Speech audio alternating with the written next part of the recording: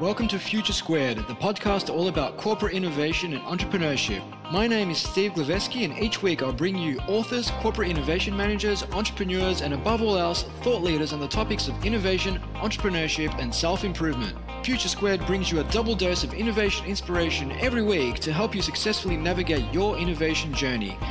Every Monday, I'll bring you a world class thought leader such as Steve Blank, Alex Osterwalder, Neil Patel, Rand Fishkin, or Whitney Johnson, just to name a few. While every Friday, I'll bring you some quick, digestible insights myself to help end your week on a high before you head off for the weekend. Future Squared is proudly brought to you by Collective Campus, an innovation hub, school, and consultancy that works with large organizations to help them adopt the mindset, methodologies, and tools required to explore new business models and disruptive innovation in an era of rapid change. If your organization needs support coming up with ideas, testing and turning those ideas into reality, incubating teams, driving cultural change, or connecting and partnering with startups, then visit Collective Campus online at www.collectivecamp.us. And without further ado, here's today's podcast. Welcome back to Future Squared. Today I'll be speaking with Leslie Barry, currently the head of innovation at Sportsbet, Australia's largest online bookmaker with an operating profit of £79.4 million in 2015. He was previously the head of innovation at ThoughtWorks Australia, was the GM of professional services at Dimension Data Australia, and has also founded several companies including Exertack, a health and fitness tracking business acquired by Techstars alumni Gyminee in 2008, and Get Viable, an online innovation platform sold to Hong Kong-based Big Colors in 2011. He is an advisor to several startups including Scanned, Crowdsource Hire, and mentors this year's intake at the Slingshot Startup Accelerator, as well as maintaining a journal of his innovation journey at insideinnovation.co. I've had the opportunity to meet with hundreds of innovation managers across a range of companies and speak with countless thought leaders on the topic. And Leslie is one guy who just gets it. To put it simply, Leslie avoids innovation theatre at all costs and has very little appetite for, lack of a better word, bullshit. In his brief time at Sportsbet, he has already had profound impact on the way the company approaches innovation, culminating recently with the ideation, design, development, and release of a product in just 12 weeks, unheard of in the company previously. What makes it all the more impressive is that in 2015, Sportsbet's revenues grew by 54%. So navigating internal politics when things are rosy and stakeholders might see little reason to change is made all the more difficult. As you will all know if you've listened to this show before, I'm a massive advocate for the benefits of health and fitness of body and mind on productivity, and we'll also dive into Leslie's approach to staying on top of his game. I simply can't say enough good things about Les, so without further ado, it gives me much pleasure to bring you the one, the only, Leslie Barry. Welcome to the show, Leslie. Thank you, Steve. Great to be here. No, it's a pleasure to have you on the program, Les, and we've caught up a couple of times in the past and had the pleasure to chat last week at the Melbourne Entrepreneurship Gala, and I find that our conversations on corporate innovation are always quite engaging. So keen to see where this one goes today. Me too. Looking forward to the day. It'll be a great chat. Firstly, everybody's talking about your fellow countryman Elon Musk's recent assertions that we might just be living in a simulation, Yep. effectively avatars guided by creatures in another reality, where the exponential rate of improvement of technology has made games indistinguishable from reality. So, what are your thoughts? Are we living in a simulation, Les? It's it's highly possible. So I think it should be um, vain to assume that we're the first iteration of humanity, and given that we've been around for x x amount of years, couple of billion years, um, is it not possible that we are just a simulation? Because if we were going to simulate things, we'd simulate them at scale. Um, so it's possible. Yeah. I hope not, but it's possible. Yeah, well, it wouldn't be hard to imagine that if the exponential rate at which technology is improving Yep. continues for, say, the next 10,000 years, that future uh, civilizations may just get quite bored and start running simulations on um, other civilizations. Maybe that's us. Yeah, it's quite interesting. I mean, it takes someone like an Elon Musk to step out and pose such questions, and then everybody else sort of sits back and starts pondering and says, oh, yeah, I mean, that could be possible. Mm, yeah. Anyway, we won't digress too much from today's topic of conversation, but Les, you joined Sportsbet as the head of innovation in November 2015, Yeah. so roughly uh, about nine months ago, um, just before the company announced a record $117 million operating profit, with revenues 54% higher than the previous year. So I guess the question needs to be asked Does Sportsbet need to innovate? Um, absolutely. I, I think one of the reasons I joined Sportsbet was because they're a high growth technology company whose product happens to be wagering, and they've got the foresight to understand that they don't want to be the next Kodak. Um, one of the challenges about high growth industry is it's okay if you're the only part person that's growing at that rate, Yep. but everyone else in the industry is growing at, this, at similar rates. Um, so that there's cash, there's opportunity. Our, our challenge is, isn't, a, isn't a lack of ideas, it's an abundance of ideas and understanding which ones to pick. So I think to have the, the foresight to go, we're growing like crazy, um, but what, what does this look like in three years' time? What does it look like in five, five years' time? Um, is quite powerful. So was that a difficult conversation to have? I mean, Sportsbet obviously already had a mandate to innovate, but what I'm seeing with a lot of companies, Les, is that you know they hire um, chief innovation officers and heads of innovation and the like, but oftentimes these positions amount to nothing more than a bit of show. Yep.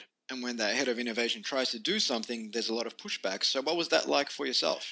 Um, I think they'd been on the journey about two years already in various forms uh, as strategy and research and development and, and trying things with Apple Watch and those kinds of things.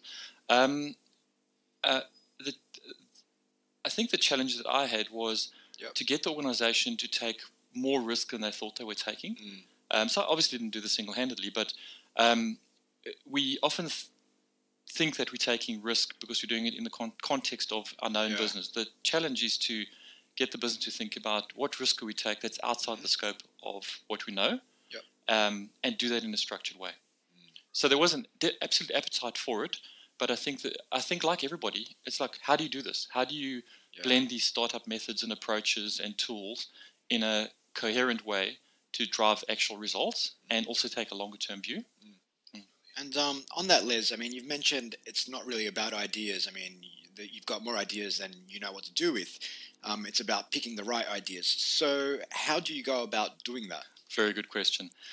Um, what we've implemented internally, and it's evolving like these things are, is I've picked three of the startup methods that I found really powerful in a previous life. Um, lean canvas from Ash, um, from Alberto Savoia from Google, um, as well as Dave McClure's Pirate Metrics. And if you blend those three things together, um, they give you quite a powerful way to rapidly iterate. So to directly answer your question, we use the Lean Canvas as a screening tool for ideas, and it's we're finding it really powerful because a most people are too lazy to fill it in, so it kills Yeah. half those ideas, um, and b those that do put it fill it in are forced to take a customer perspective of the world and uh, really think deeply about what they're proposing. Um, and then we use various methods which which we can go into around prototyping to filter it out, determine interest, etc. Yeah, and I love what you said there about being too lazy to fill out a lean canvas. Um, I think a lot of people are attracted to the idea of innovation and entrepreneurship, but ultimately, there's a certain type of person um, that suits that type of role someone with resilience, with tenacity, with the personal attributes to carry an idea through um, all the way. And yeah, it's, it's funny when you run an innovation program, you get so many hands going up saying, I want to take part. But as soon as you ask someone, say, well, you've got to complete a lean canvas um, with you know summarizing what your concept is, and the numbers just drop off significantly. Absolutely. Um, it's quite interesting how that happens. Um, but anyway, um, you mentioned earlier the topic of stakeholder buy-in, Les. Um, keen to hear what sort of challenges you had in this space.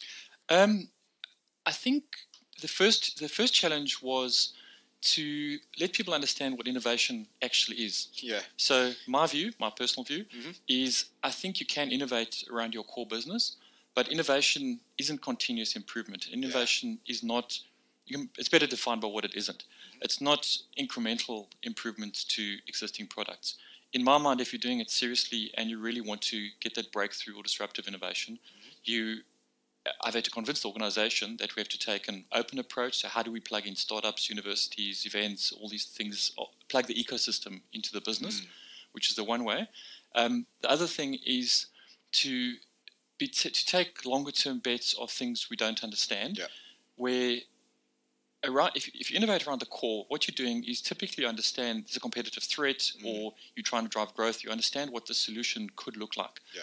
Um, what we're trying to do is go, what is how do we identify emerging customers or emerging markets or emerging technology where we understand the customer problem Yep. we start thinking how can we apply this solution to that how can we apply this technology to that problem Mhm. and go on a journey to figure out the solution i think that's the core difference um, and it's been quite a journey to ro- roadshow around the business and let the business understand um, innovation is not a bunch of like everybody thinks kids in the corner playing with VR um, Yeah. with Nerf guns. You know, yes, we do that too, obviously, Of course. um, to get the creative juices flowing. But it, it, it isn't just that. And I absolutely love that the first thing you did was to define what innovation actually is. Um, you know, there's so many different interpretations of innovation, be it, you know, Horizon 1, um, incremental innovation, Yeah. Horizon 2, adjacent innovation, and Yeah. Horizon 3, disruptive innovation, which all require a very different approach. Um, Yeah. And you mentioned um, long term innovation, Yeah. which brings with it more risk, uh, more uncertainty, Yeah. and I guess, you know, aligning the the long-term innovation with the internal metrics of success um, can be quite challenging for a lot of um, you know entrepreneurs. Yeah. So I'm keen to hear what those conversations uh, were like with um, senior executives, with accounting, um, with finance, and so on. Excellent question. So, what we did is the, the, the second thing was to redefine and create a common language. Mhm. Um, so, the way we were measuring innovation before was exactly that the core business metrics, which is, I don't believe, the right way. So, if you look at the McKinsey through Horizon, a piece of work I did at ThoughtWorks was we created a model to simplify that called explore, exploit, and sustain. Mhm. So, the reason and part of that is if you create, if you accept that as the model in the organization, um, explore, all you're trying to do is measure problem solution fit. So Mhm. the outcome is problem solution fit. Yep. It's not a metric, it's not a financial metric, but it is measurable. Mm. Um, in exploit, we're talking about um, product market fit Mhm. in, in lean language, and then sustained is the normal business metrics. So I went on a, another internal bit of a roadshow to um, explain the model to everybody. Um, and we accept that as a way to do things. It's really simple language. Mhm. Um, and now it's easy to have a conversation to say, in Explore, our objective is- to fail 90% of the time. Because Love for that. every failure, we're saving a few million dollars, but not building stuff that we shouldn't be building. And the risk, we can take much more risk for much lower price. Yeah, and I absolutely love that 90% failure metric, Les. I mean, it makes sense because if you set that failure bar, well, lower, Yeah. I guess it just means that you're not aiming high enough. Um, I mean, if you look at VCs, they tend to get it right one out of every 10 times, Yeah. and that's essentially their business is to invest in early stage disruptive innovation, which is fraught with risk. Um, and I also like this concept of explore, exploit, sustain, and tying that into you know those pirate metrics, Dave McClure's pirate metrics of um, problem solution fit, product market fit. Um, you know, we do a lot of stuff here at Collective Campus where we may test um, a problem by setting up some ads, say on Facebook, which clearly um, stipulate what the problem is. Like, for example, no time to work out, um, click here. Um, and then testing the solution with a landing page. So is is that the kind of thing that you guys are doing, or what does your uh, interpretation of that look like? Absolutely. So initially, our thinking was um, lean canvas and in to measure explore or to run explore, Mhm. and pirate metrics in the exploit phase. Right. Um, after a visit to um, Alberto Savoia in um, at Stanford, um, Mhm. who developed a prototyping methodology for Google, we injected that into the process because- because that was the missing step. The missing step Mm. was how do we very quickly evaluate in 24 hours what the initial level of interest is, um, and that works really well. But back to your Mm-hmm. question, uh, that then gives us a filter to drive uh, ideas into the predator. Sorry, excuse me, into the exploit phase. Mm-hmm. Yep. Um, and in the exploit phase, we use Dave McClure's pirate metrics Mm-hmm. because uh, we do very simple things in our customers, which has been a, quite a step, quite a leap for the business to go. Yeah. Everything we put out there isn't 100% perfect. It's okay to experiment on 0.1% of our customers. We've got hundreds of thousands of customers, so we can do this. Um, we can get product in front of them or potential product in front of them in terms of Facebook ads or those kinds of things. Yep. Um, and then measure it on the pirate metrics. And the pirate metrics, the beauty of that is once again you change the metric conversation from what is the absolute number to what is the week on week growth. Because Yeah, at this point, when yeah. you're growing a product or launching a new idea or testing a new idea, all you care about is week on week growth, nothing else. Yeah, and on um, Pirate Metrics, I um, interviewed uh, David Binetti way back when. I think it might have been episode number seven, six months ago or so. Um, and he came up with this framework called Innovation options, um, which essentially takes the stock options framework and applies it to innovation so that at the early stage of the innovation lifecycle, you can actually apply, based on a set of underlying assumptions being either validated or invalidated, um, a value which you can then use to uh, communicate to accounting. Because accounting, yeah, they may say, great, you've got all these learnings, uh, problem, solution, fit, and so on, but ultimately they want to see numbers. So keen to hear how or what rather that conversation sounds like at Sportsbet. Um, we have managed to successfully defer that conversation. Excellent. Um, and the way we've done that is to give the business a sense of trust in the process mm-hmm. and the fact that the numbers are coming back are absolute numbers. So yep. we've got a this these hippos that we hand out in conversation in the business, and the hippo is the highest paid person's opinion. It's yep. a stress toy, not an actual hippo, of course. Um,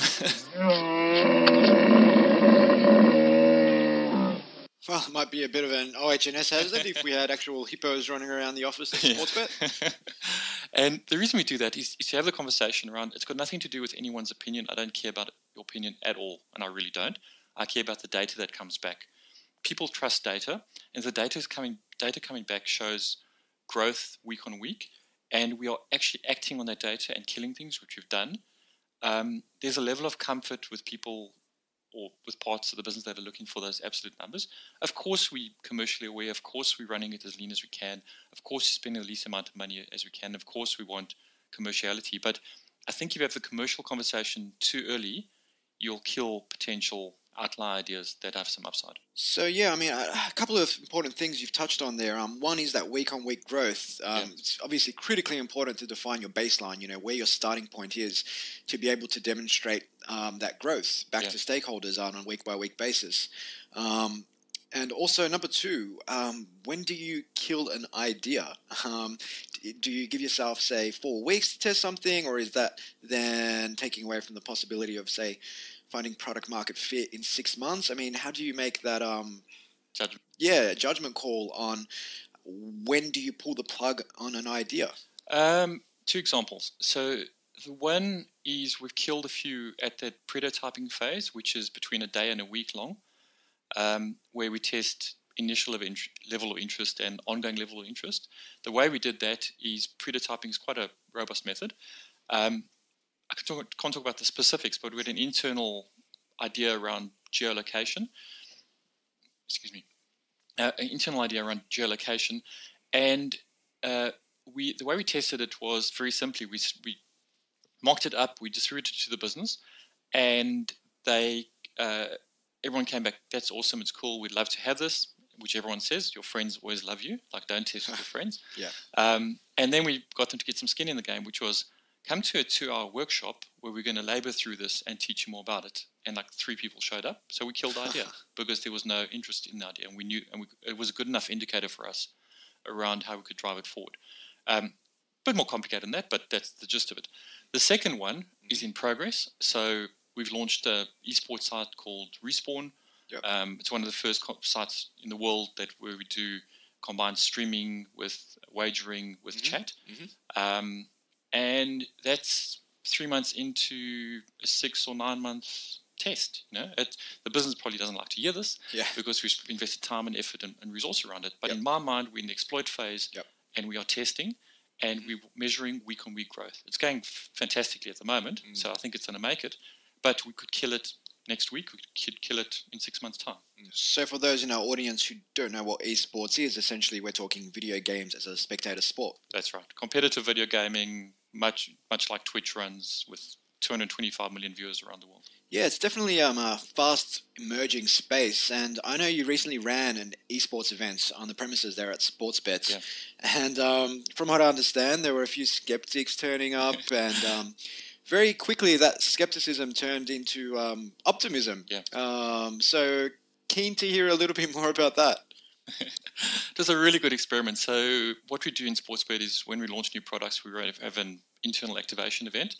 We hired in uh, one of the top uh, esports gaming teams uh, for a day or two in the, in, in the organization. We had yep. 16 teams competing, mm-hmm. including our executive team. Um, and the reason we did it, well, the side effect of doing it, we did it so people could get a sense of what this thing is and really internalize it.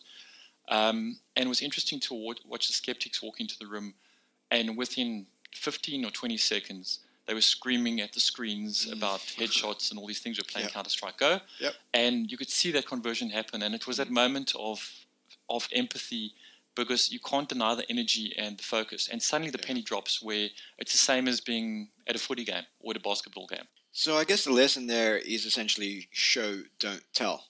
Absolutely. And the thing with esports is it's not like, um, yeah, you know, we get people together and they play video games. It doesn't sound as compelling as actually showing people and immersing themselves in the experience, especially when there's money on the line. Yes, absolutely. It's an entirely different value Yeah, prop. and it's similar to like Steve Blank, Steve Blank's get out of the building principle, which I'm a big fan of. We just got everyone into the building um, with an outside view. Maybe that should be the title of your next blog post. Get into into the building.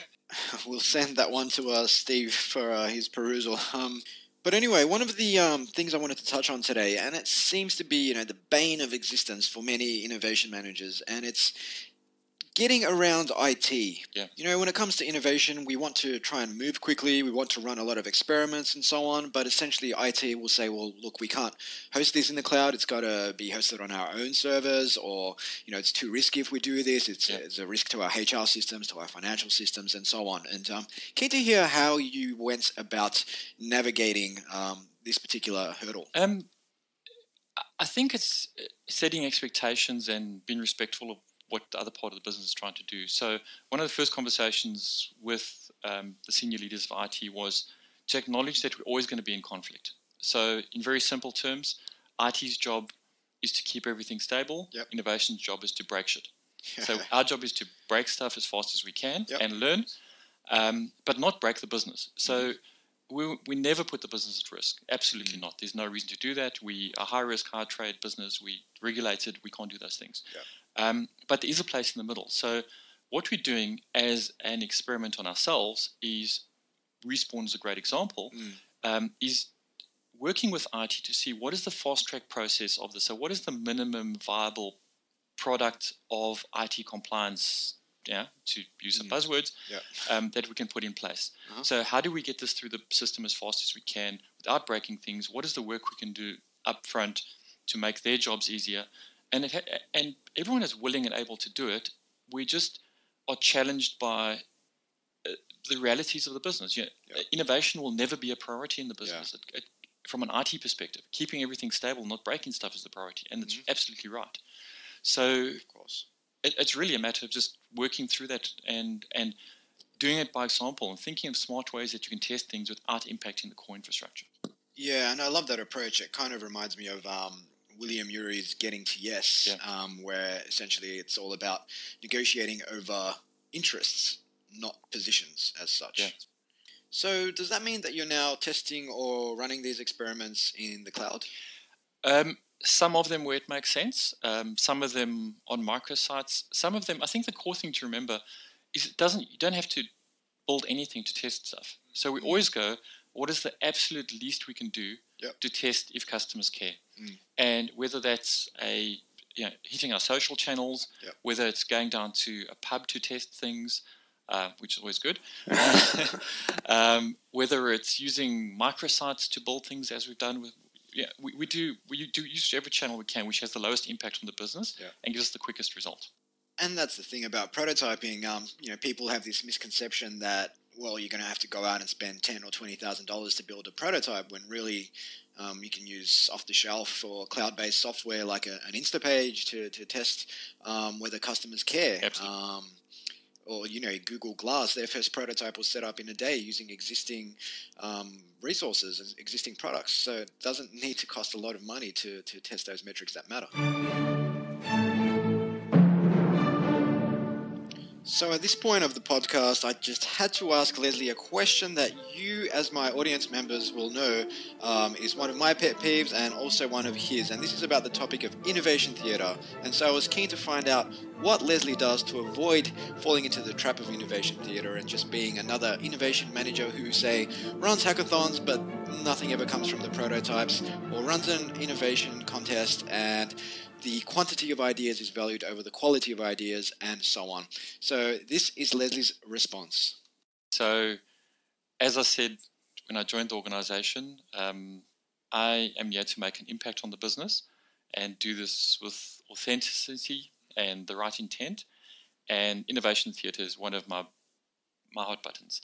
Um, what we see in, in the Australian innovation ecosystem is a lot of organizations are, I think, chasing KPIs or trying to look good or trying to be the new rock stars or, or latching onto this new innovation buzzword and it's in everyone's KPIs, and that's great.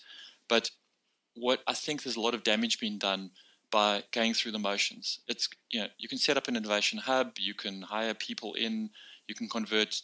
No disrespect, but you can convert people that don't have deep um, startup experience or haven't built businesses, um, internal people into these roles. Um, and firstly, they don't know what they don't know. But secondly, we see a lot of the short-term thinking taking place. We're pumping lots of money in, looking all shiny, running internal accelerator programs, doing all, all this stuff. The, the simple question to ask is, what is the outcome? What is the result? What are you doing to the ecosystem? How are you supporting them? And I think it comes from misunderstanding. It's, it's from my perspective, um, why do I do this? I do this because I deeply believe that I want to connect startups to business. And I think startups, of course, they need cash, but more than that, they need access to our scale and our customers yes. so yes. that they can grow their business. They don't want to work for us. There isn't a secret formula to create the new Uber or the new Spotify or the Yeah. new, you know, one of those new companies. Yeah. Um, the flip side of that is also true. We benefit greatly from supporting the early stage ecosystem Mhm. because that's where the left cent- left to center thinking is coming from. That's where the innovation is coming from. Yeah. So to do that with authenticity, you need to respect that part of the ecosystem, Mhm. not be looking at it as what are the steps we can go through to make it look like we're doing innovation to pretend that we're generating things. Yeah, and I absolutely love what you said there about the steps that organizations go to to um, or go through to um, make it look like they're doing things. Um, you know, for example, running startup boot camps, so they, they can then go on and publish that as part of their annual report and show the shareholders that hey, look at us, we're being innovative. But um, ultimately, there's no real focus on the long term. What comes out of those boot camps? Essentially, it's usually a marketing exercise. Um, Yeah. you know, there's no real focus on progressively changing the culture. There's no focus on aligning the metrics, the processes, the systems, the values um, with an environment that will actually support that uh, Horizon 3 disruptive innovation. I, and I really I love what you said there because there's this short termism because because startups are seeing or perceived on TechCrunch, whatever your favorite Mashable. fodder is, yeah, to go like you know overnight success. These guys exited for a billion dollars, etc. And those are pumped up. Those are the, absolutely the out, outliers. So you can't use them as as the norm. And you talk to any venture capital fund, they run their funds for seven years. They don't expect an exit before that. Everything runs on a five to seven to ten year cycle, and it's still true. That hasn't changed. Hmm. So to play innovation, innovation for a year, and then go, whoops, that failed, Yeah. and then kill the program, Yeah. you're doing more damage than good, I think. Yeah, and you're exactly right. You know, when it comes to the VCs um, with those seven to ten year sort of investment cycles, um, you know what they're doing now is essentially setting up funds of funds where um, they have between say 100 and up to maybe 300 startups um, by partnering with other venture capitalists, essentially increasing the likelihood of success, decreasing the risk. Um, Hedge your bets.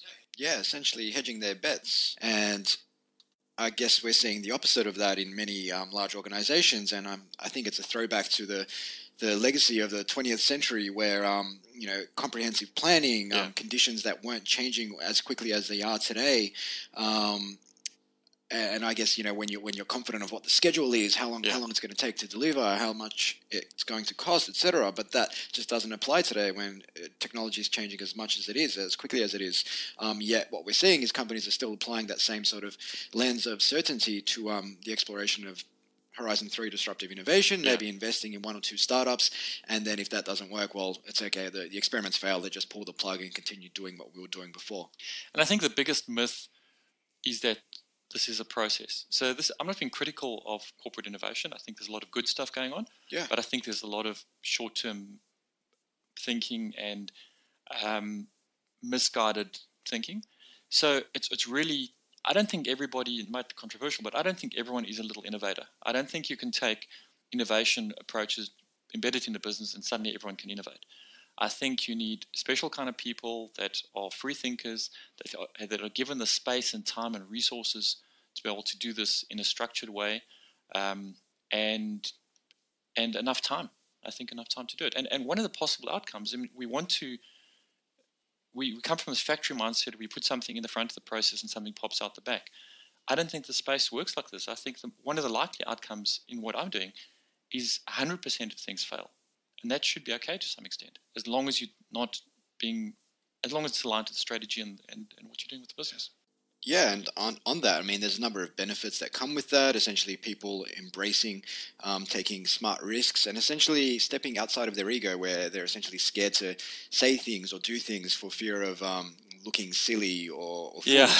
um, and embracing failure. So, on that, I want to talk about yes. The fail button. So, um, legend has it, Les, that you run around the Sportsbet offices like a mad scientist, pressing a fail button whenever someone in your team essentially fails. Tell us a little bit more about that. Well, um, absolutely true. So I think everyone we conditioned to put on the regardless of what stage of your career you're at to put on this pose that we everything's under control all the time, and it absolutely isn't. Everyone's kicking like ducks under the water. Um, so to encourage that, and particularly in the innovation space, um, when I joined there, I wanted to create the environment that failure is okay. And by failure, I don't mean being stupid. By failure, I mean taking risk. If, if we're not failing enough, we're not taking enough risk, as we know. So I got a fail button that you you push it, goes ah, makes the fail sound. Can we hear that one again? Ah.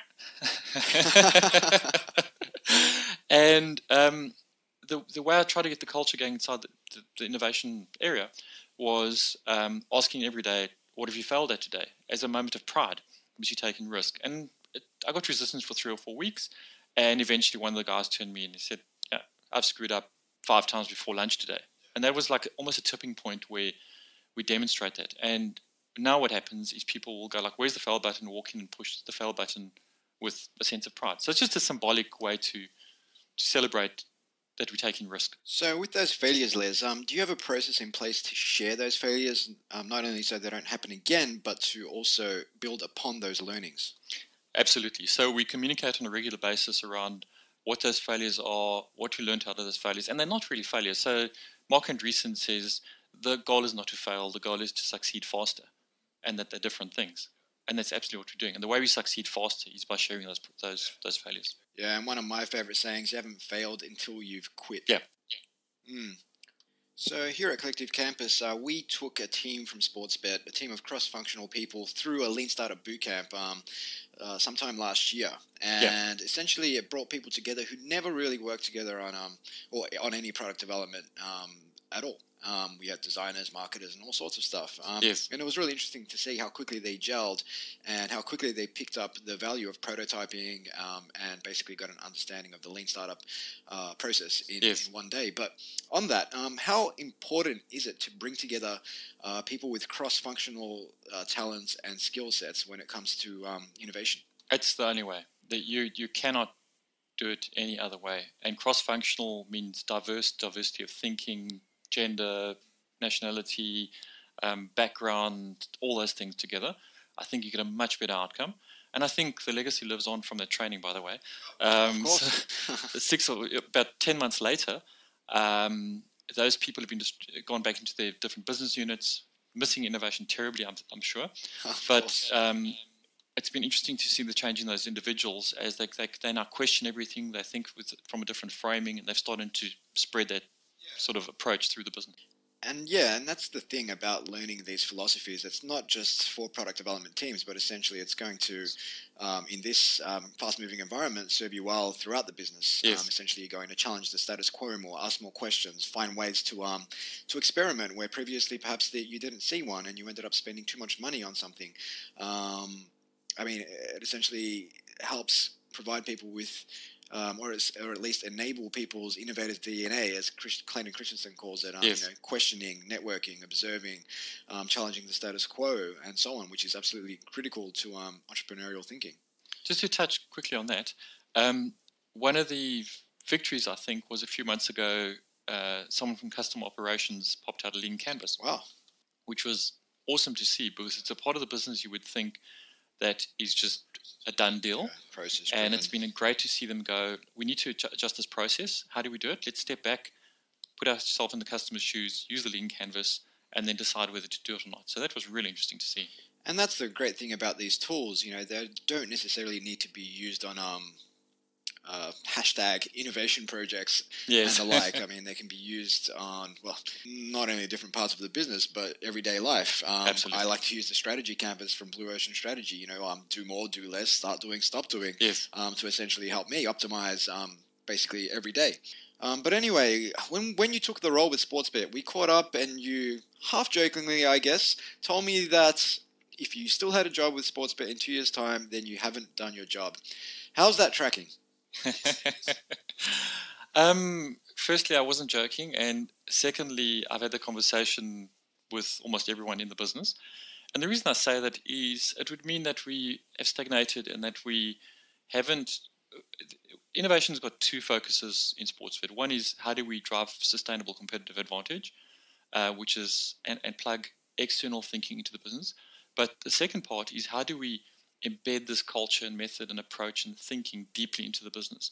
So if I look back in two years' time and I'm still in the innovation team heading this up and, and treading water, um, I will have failed. Um, I think it needs to, it'll morph rapidly into some other version of this. So it may be we may be have an external incubator. We may be doing all sorts of other interesting things. So and the other thing is if I'm not one of my KPIs for myself is if they don't threaten to fire me every three months, I'm not trying hard enough.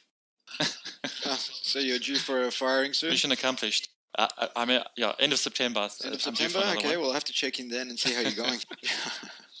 so, Les, you're lucky enough to be going to the Singularity University Global Summit next month in September. Yes. And like yourself, I'm a huge fan of Peter Diamandis and all of his work. So, I just have to say that right now, I am just super jealous. Excellent. I've been trying. I'm a massive fan of Peter Diamandis, um, and I've been trying to get to this for years now. So I'm really pleased about it. Yep. Um, but the reason I'm a fan is is I love the thinking that says you can't participate in the conversation at Singularity University if you're not thinking about how your idea impacts a billion people. Mm. So I, th- and the reason I'm going is I want more of that injected into my thinking. It's like, Yep. you know, we think we're thinking at scale. We absolutely we aren't, we're not even trying. Mm. So so so the ability to rally forces around that, create things like I, I believe Peter Diamandis' thinking seeded Elon Musk's space program and all that kind of thinking that it's actually possible for a non-government agency to build the stuff that we've considered the domain of government. Yeah, yeah, and it's like um, Peter Diamandis says, you know, if you want to um, make a billion dollars, then impact a billion people. Um, Absolutely. And on the um, private enterprises doing much more than large administrative uh, governments and bureaucracies, um, you just look at what Elon Musk did with SpaceX. Um, the Dragon uh, rocket basically cost about 330 times less per vehicle than the um, Orion from NASA. Um, and it just goes to show you what an organization with a culture of uh, moving fast, experimentation, um, relentless focus on customer problems, and uh, no a lack of fear of failing publicly. Um, it just goes to show you what they can do with much less. Oh, absolutely. And you want to see, if, I did a brief talk on failure, which is probably a conversation for another podcast, but um, using Elon Musk as the demonstration. So it's always easy to start a presentation with rockets exploding um, because you get your audience engaged. And they had two massive explosions on their, their relanding attempt, um, and the third one stuck. And, if, you know, uh, and that's, that's putting it on the line. And that is failure at scale. They blew up, I think, 110, 120 million dollars worth of their customers' equipment in the process, and they retained the customer. So, you know, if you think you're innovating, try harder. Yeah, and I think there's a massive piece there on um, on failure. Um, you know, we look at Elon Musk. I think it was after the third time the Falcon uh, blew up. He basically got the troops together and said, "Look, I don't know about you, but I will never give up." Yes. And they more or less just got straight back to work. You know, he's got that innate ability to um, inspire people to just continue going after those moonshots, which many of us would find um, would not even consider.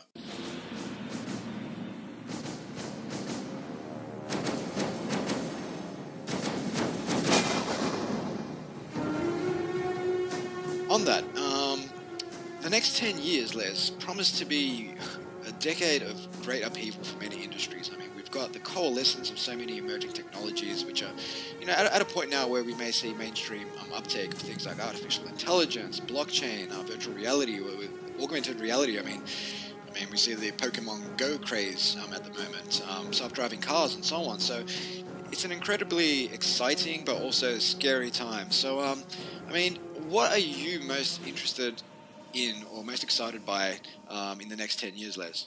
I think um, virtual reality is going to fundamentally change the way we engage with the world around us and with each other, um, and possibly shift us into an environment where we're dis- dissatisfied with reality. Reality. Um, I also think artificial intelligence. Um, part of the reason I'm, I'm interested in going to this conference is Ray Kurzweil speaking. Wow. So that'll be amazing. His singularity is near.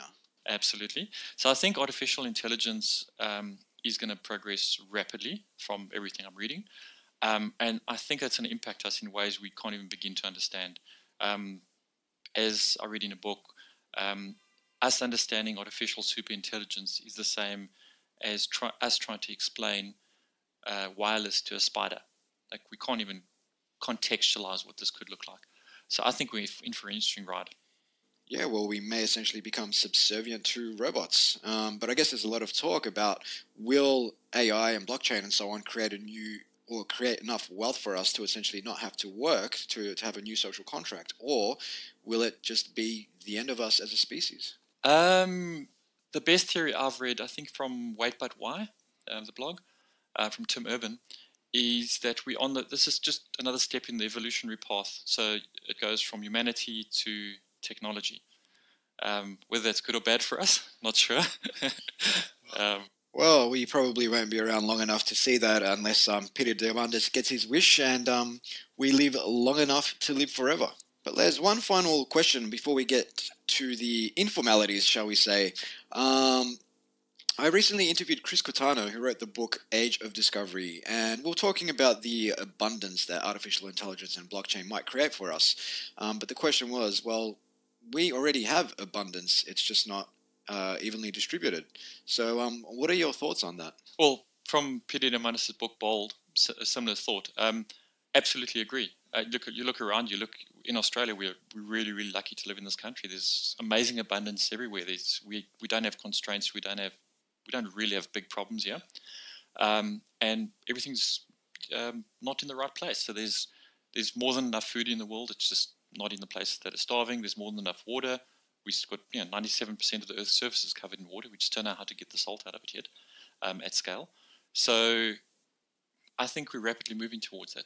Yeah, exactly. And I saw a great post the other day about new uh, water desalination technologies that can essentially take dirty water and make it clean. Yeah, the carbon fiber. Yeah. There was some, some, yeah, there was some material that does it. Yeah.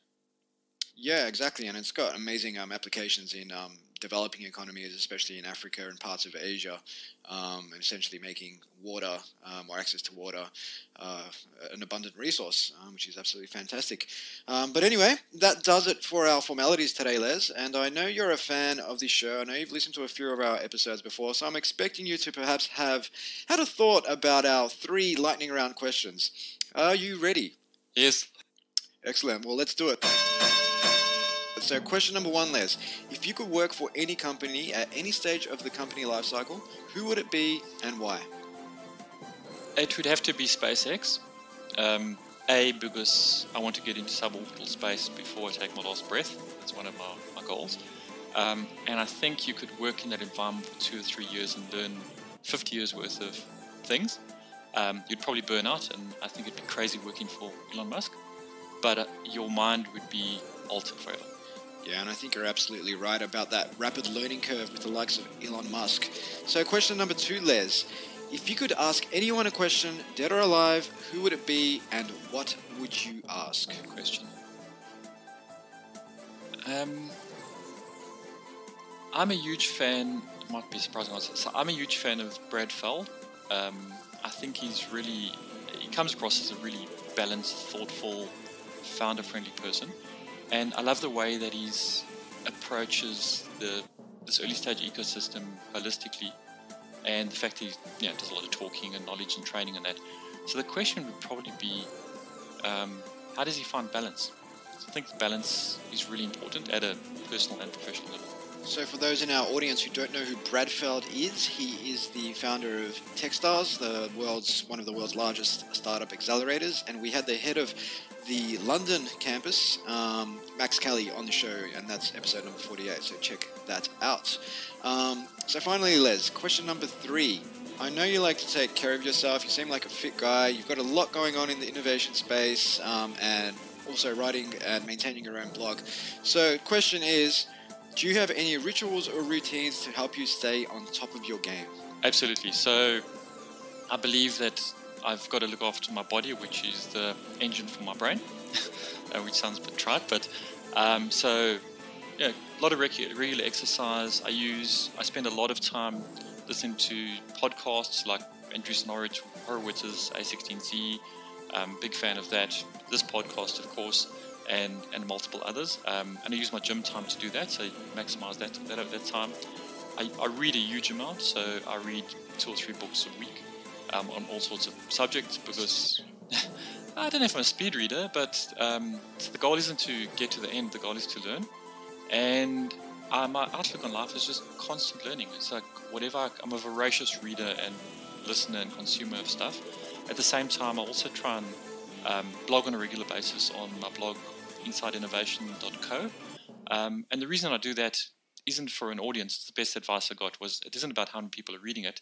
It's just to put your thoughts into a place that they become coherent and you can understand them and internalize them yourself. And I know you're a big fan of doing that kind of thing. Oh yeah, definitely. I'm absolutely a big fan of blogging, and actually, um, spent a bit of time the other day writing um, 50 lessons from 50 episodes, um, which was all about essentially taking the learnings from my first 50 episodes and putting them down on paper. And I find when you do that, you're much more likely to retain things because um, we tend to consume a lot of knowledge, but not really digest it the way we should. Um, yeah. So taking the time out to reflect and say, well, what did I actually learn here? Maybe put some thoughts down on paper helps you retain that knowledge quite a bit more. And on um, blogging, I think Seth Godin basically he, he blogs once a day, and he says that if you write a blog that has an audience of one, i.e., yourself, and you just love writing, um, then you're already ahead of 95% of bloggers. Um, so if you if you're enjoying what you're writing, then you're you're doing pretty well. Yeah, that's great. Fantastic, Les. So um, our audience members can track your innovation journey at insideinnovation.co. Is there anywhere else they can go to find out a little bit more about yourself and connect? Yep, um, so I'm quite active on Twitter. It's at Leslie C. Barry. And happy to hook up and connect with anybody, also pretty active on LinkedIn.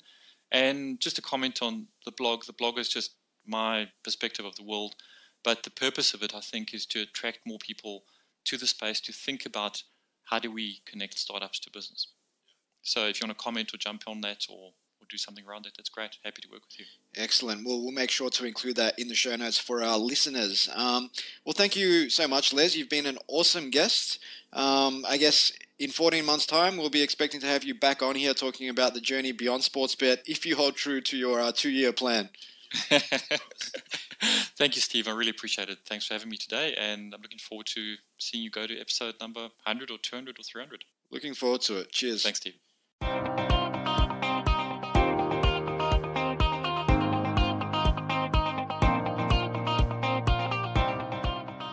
Well, that's it for my chat with Leslie Barry from Sportsbet. Hope you enjoyed uh, listening to that as much as I interviewed taking part. Um, of course, you can find out a little bit more about Sportsbet's esports offering at respawn.sportsbet.com.au. You can hit up Leslie on Twitter at Leslie C. Barry and check out his blog, insideinnovation.co. Um, so, we've got a ton of other things going on at Collective Campus, which you can find out a little bit more about at collectivecamp.us forward slash events and forward slash classes as well if you're interested in learning a little bit more about the lean startup, about design thinking, about agile, customer experience design, data science, digital marketing, or even web development. There's a ton of resources on our website um, physical delivery, online delivery, and so on. So make sure you take a bit of time to um, check that out, inform yourself, and upskill because in the fast moving world that we find ourselves in, we simply can't afford to sit back and And don't forget, later this month on August 31st, we'll be hosting Ash Maurya, author of Running Lean, um, and also the creator of the Lean Canvas, which um, Leslie Barry alluded to a few times in this show. Um, so you can pick up a ticket uh, to that show at collectivecamp.us forward slash events as well. I think it's only about $10 to get a ticket to that, but you can also live stream that one from free, for free rather, from any corner of the globe. Um, and as I mentioned in the podcast, I've recently published a blog post called 50 Lessons from 50 Episodes, where you can basically um, extract morsels of knowledge from our first 50 episodes. Um, and that can be found at uh, collectivecamp.us forward slash blog forward slash 50 lessons. If you're picking up what we're putting down, if you're liking what we're putting out there, please take a minute to um, show some love on iTunes, SoundCloud, or Stitcher. Five star rating, a subscription, or even sharing this with your friends would be much appreciated by myself and the team here at Collective Campus who work tirelessly to bring you amazing content um, time and time again. So, so we would always appreciate a little bit of love. Um, until next time, Future Squared out.